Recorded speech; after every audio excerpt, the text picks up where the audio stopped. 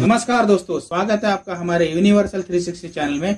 आज हम आपको एप्पल की वाइन बनाना बताने जा रहे हैं। देखिए, मैंने एप्पल की वाइन बनाने के लिए दो किलो एप्पल को अच्छी तरह से साफ़ कर कर काट कर रख दिया है। अब हम हमारे एप्पल को पीस कर रख लेंगे।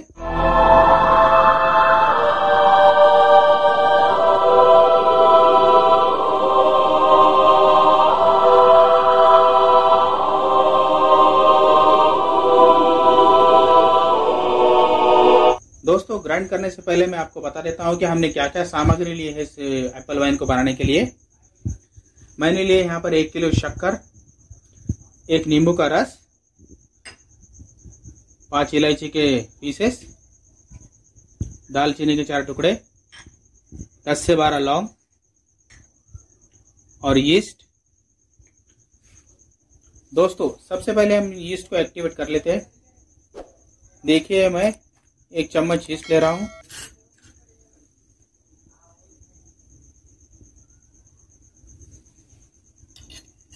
और इसमें मैं थोड़ी शुगर ऐड कर लूँगा।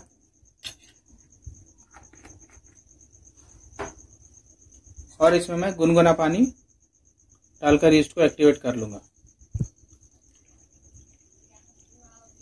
जब तक हमारा ईस्ट एक्टिवेट होता है, तब तक हम हमारे एप्पल को ग्राइंड कर लेते हैं, पीस कर रख लेंगे। और मैं इस ईस्ट को ढक कर रख देता हूँ, जब तक ये फूल ना जाए। देखिए, हमने हमारे एप्पल को पीस कर रख लिया है, इसका इस तरह से पेस्ट बना लिया है। अब हम इसमें सब सामग्री मिला लेंगे। ये मैं दालचीनी मिला रहा हूँ इसमें। ये इलायची मिला रहा हूँ। ये लौंग मिला रहा हूँ।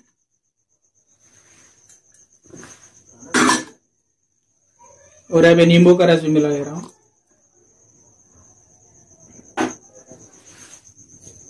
और अब इसमें मैं एक किलो शक्कर ऐड कर लूँगा।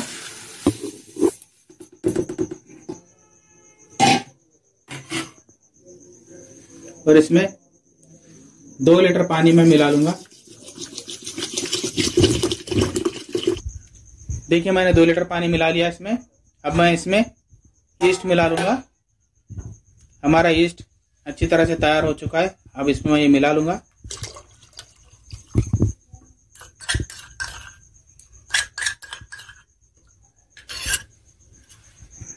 हमने सब सामग्री इसमें मिला लिया है। हम अब इसे अच्छी तरह से मिला लेंगे। जो भी सामग्री हमने इसमें मिलाई थी, उसे अच्छी तरह से मिक्स कर लेंगे।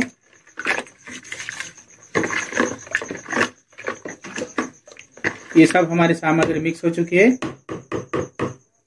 हमने सब कुछ मिला लिया है। अब हम इसे अच्छी तरह से ढक कर रख देंगे।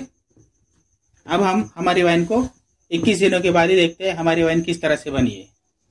दोस्तों, देखिए, हमने जो एप्पल की वाइन बनाई थी, उसे अब 21 दिन हो चुके हैं। अब हम इसे खोल कर देखते हैं हमारी वाइन कितनी अच्छी तरह से बनी है। देखिए दोस्तों, हमारी वाइन अच्छी तरह से बन चुकी है। जितने सारे हमने एप्पल को इसमें ग्राइंड करके डाला था, वो सब सारे नीचे बैठ चुके हैं और हमारी वाइन अभी ऊपर आ चुकी है और अब हम इसे एक पतीले में छान लेंगे। दोस्तों, देखिए हम इसे इस पतीले में छान लेते हैं। दोस्तों, मैं अक्सर पतीले को अच्छी तरह से साफ़ कर लेता हूँ। देखिए मित्रों, हमने इसे पतीले में छान लिया है और अब हम इसे उसी जार में फिर से डाल देंगे फिल्ट्रेशन के लिए। देखिए हम इसे फिर से छान लेते हैं। छान कर हम फिर से इसे रख देंगे फ़िल्टर होने के लिए। जो भी हमने एक बार छाना था उसके अंदर अगर कुछ डस्ट रह जाती है तो ये इसमें फिर से एक बार छानने के बाद इसमें आ जाएँगे ये छन्नी में। छानने के बाद हम फिर से इसे कुछ दिनों के लिए फ़िल्टर होने के लिए रख देंगे। दोस्तों, देखिए हमने हमारी वाइन को अभी छान लिया है और अब हम इसे ढककर एक दो तीन दिन के लिए रख देते हैं, तब तक ये फ़िल्टर हो जाएगी। दोस्तों, देखिए हमने जो एप्पल की वाइन को फ़िल्टर होने के लिए रखा था और फ़िल्टर हो चुकी होगी। अब हम इसे एक पतीली में निकाल लेते हैं। देखिए दोस्तों, हमारी वाइन बहुत अच्छी तरह फ़िल्टर हो चुकी है। अब हम इसे एक पतीले में निकाल लेंगे।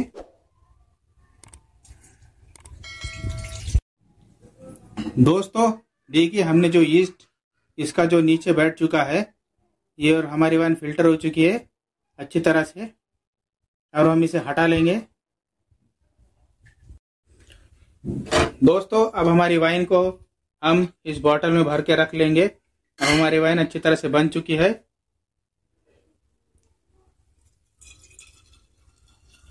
ये एप्पल की वाइन है दोस्तों।